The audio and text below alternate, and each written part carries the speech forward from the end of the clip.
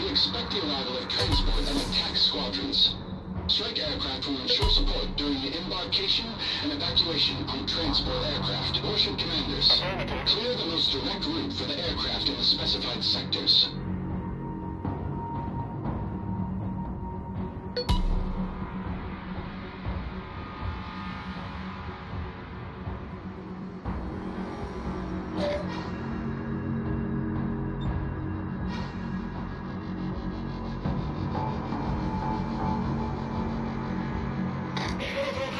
серьезностью